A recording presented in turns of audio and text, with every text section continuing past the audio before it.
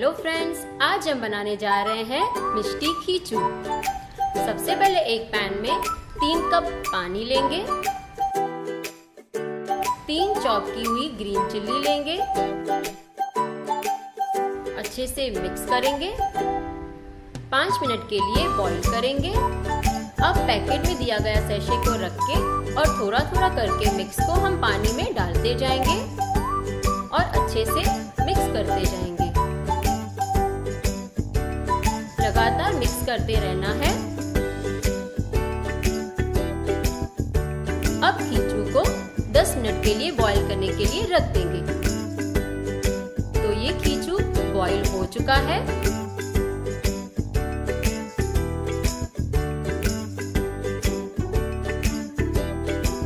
जैसे कि खींचू बन गया है, अब हम खींचू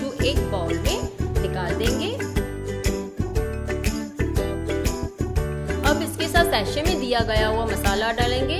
और ज़्यादा मसाला डालना हो तो आप मिष्टी अथाना मसाला भी डाल सकते हैं। उसके साथ ऊपर से ऑयल डालेंगे।